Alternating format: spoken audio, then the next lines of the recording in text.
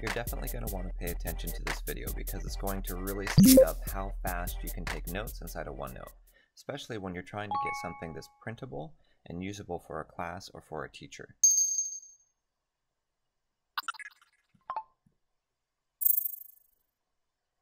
Look at how that looks. Isn't that fantastic? All right, so here, doing this, and then we also want to convert our handwritten text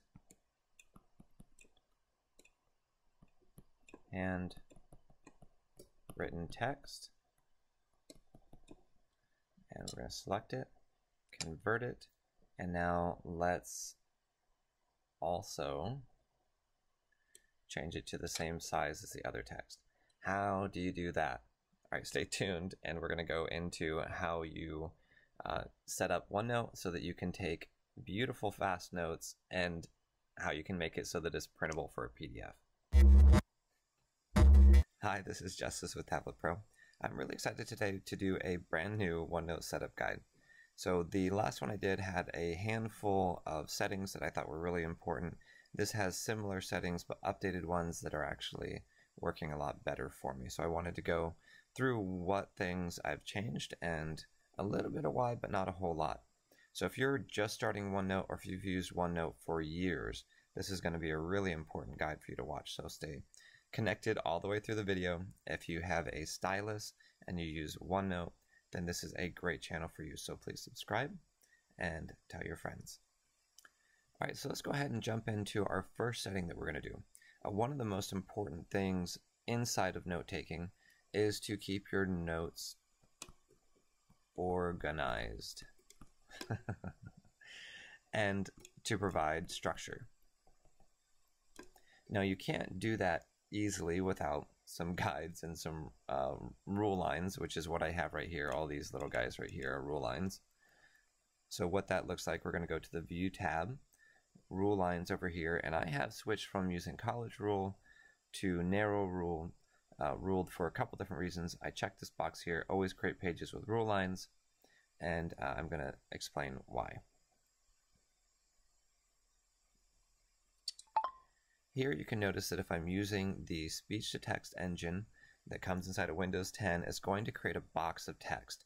That box of text is going to end somewhere on the page, and if you start or you try to print that into a PDF format to turn into your teacher, or for other reasons, it's going to look terrible unless you use the right size font and the right size rule lines.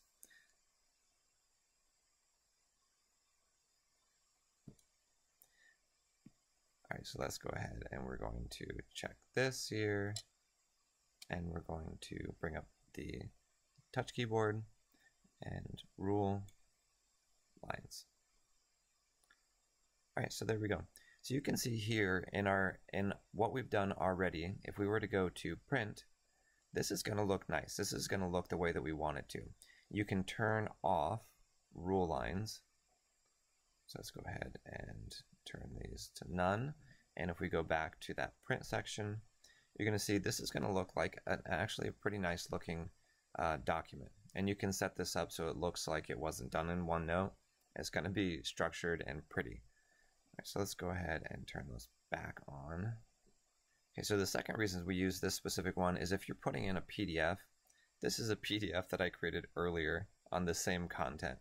It actually comes in at exactly the same size as, uh, as the document we're currently in. What typically happens is all the pages come in at about this size, and most of the time they're about this font size, which means if we use a different size, if we use a different size a rule line, it ends up looking like this. Really not very uh, homogeneous. We all like homogeneous notes. So this is important. Let's go ahead and delete that and go back up here to the top. Okay, the next thing that we're going to look at is we're going to look at uh, which font we're using. So font size, again, matters because we don't want our fonts to not sit inside the lines. And let's go ahead and go to the Draw tab, and we're going to select blue again. And let's write something. And we're going to convert it. And you're going to notice something right away. This size right here is not the same as this size. So in order to get these to be the same, I'm going to select inside this body of text at the top. I'm going to hit Control Shift plus C.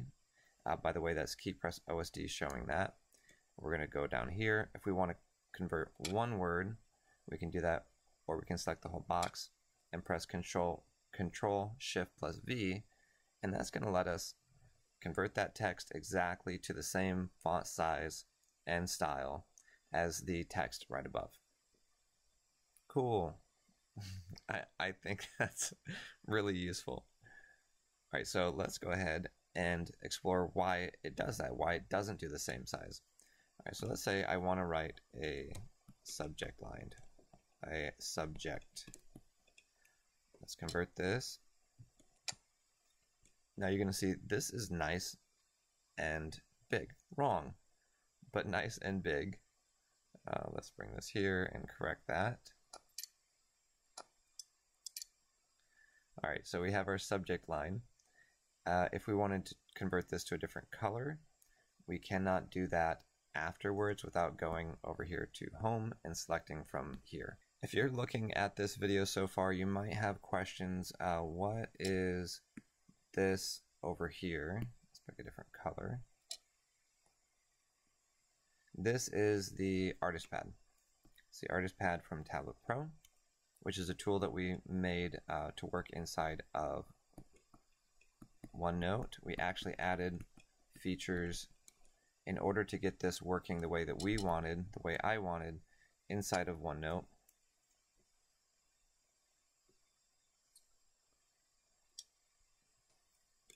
Perfect. Okay, now if these are in the wrong spot, let's say this one is not centered the way I want. I'm going to select it here and I'm going to move it. It's going to snap. You notice it's snapping to the middle. I don't want it to snap to the middle. I want it to snap right to the line. If I press Alt at the same time, it's going to let me move that exactly the place that I want. Uh, I think this is pretty cool. You can stretch and scrunch it, make it larger. And again, as soon as you modify it, it is screwed up forever. So uh, you can't do that. All right, let's snap that back to where we wanted. Perfect. Okay, the other thing that I'm using, and I think this makes um, significant difference, is I'm using a specific stylus. I'm using the uh, R520. R520. Uh, this stylus is $40.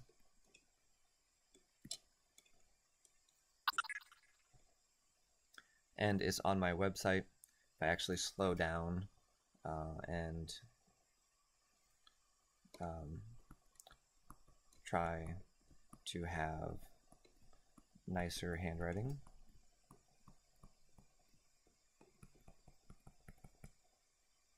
You can see it does really nice, clean, clean lines, um, better than the Surface Stylus. Let me grab one. And the reason that I like it specifically better, this is the Surface Stylus, by the way. The reason I like it specifically better, besides that it's cheaper, is that it has two buttons on the side, and I use the pen tool, which is our last tip, to change uh, what the side buttons do on the pen. So by default, if I set that to none, uh, if I go in here, I press the side button, it's going to let me, uh, we did not successfully do that, we have to hit the green button. All right, so I can go in here, and then I press the side button. The first side button on the R520 pen is the eraser which means that you can go in here and just erase text as fast as you write it. Really useful if you are taking notes and you don't want to pull up the keyboard to erase something or switch to the lasso select tool in order to delete something. All right, so the other thing that I really like about the pen tool is let's say I use um, two different colors of colored pencil and I want to click in between those two, toggle click location. So right here, let's say I want red and orange. We're going to click apply and close. and uh, let's delete that. We're going to draw here. I'm going to click the button, click it again, and I can have this set between all sorts of different tools. But since I have two buttons, I can actually switch between four different tools with just the side buttons, okay, and still erase uh, really quickly and rapidly. All right, so that's it. We have the Tablet Pro Artist Pad, which is going to be really helpful. I'll put links to that in the description. Um, we're using keyboard shortcuts to copy the text styles. So let's see, those are Control, Shift, it's an F, plus C or V. All right, Control plus Shift plus C or V. So Control Shift C is going to copy our text style, and Control Shift V is going to paste our text style. Again, in order to copy the style, all you have to do is just select anywhere inside of this box. So if you want to put the um, the pointer somewhere in here, you can do that and copy that style. All right, that's going to be it. Uh, a quick guide for OneNote and setting up the artist pad. These buttons right here are all clicking spots that are on the screen, which means if I switch to home and I press this button, it's going to click right here where the yellow pencil is. Where the yellow pencil is. So watch the uh, setup guide for Tablet Pro so you understand how that works and how to do that. Alright you guys, that's it for this video. Thank you so much for watching. Uh, I hope that it was very useful for you.